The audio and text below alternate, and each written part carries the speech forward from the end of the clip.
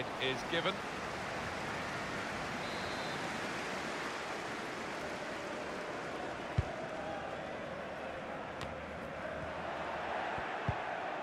Odegaard. He might be through. The pressure has told, and they've caved in, really. Well, we all knew what was coming. Certainly the opposition did, but they could do nothing to stop it happening out there.